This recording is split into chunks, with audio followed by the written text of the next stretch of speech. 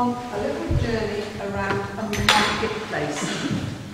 So um, you'll hear us shifting from stall to stall and getting slightly different flavours as we move around the marketplace.